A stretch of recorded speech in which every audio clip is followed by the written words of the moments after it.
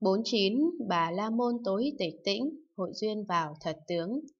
Thiện tài đồng tử từ từ đi về hướng nam, đến thôn xóm đó gặp vị bà La Môn tối tịch tĩnh, đảnh lễ đi nhiễu quanh, chắp tay cung kính, đứng về một bên, bạch rằng, Đức Thánh, còn trước đã phát tâm A Nậu Đa La Tam hiệu Tam Bồ Đề, mà chưa biết làm thế nào học Bồ Tát Hạnh, làm thế nào tu Bồ Tát Đạo. Còn nghe Đức Thánh khéo chỉ dạy, xin hãy vì con mà nói. Bà La Môn tối tịch tĩnh đáp rằng, Thiện nam tử, ta đắc được Bồ Tát giải thoát tên là lời nguyện chân thành.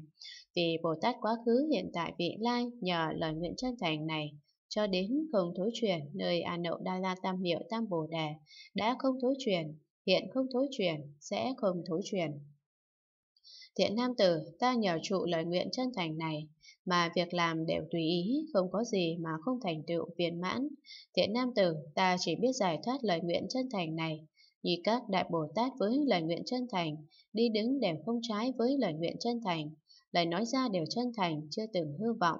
Vô lượng công đức do đây mà sinh ra, mà ta làm sao biết được, nói được. Thiện nam tử ở phương Nam này có thành tên là Diệu Ý Hoa Môn, trong thành đó có vị đồng tử tên là Đức Sinh, lại có đồng nữ tên là Hữu Đức.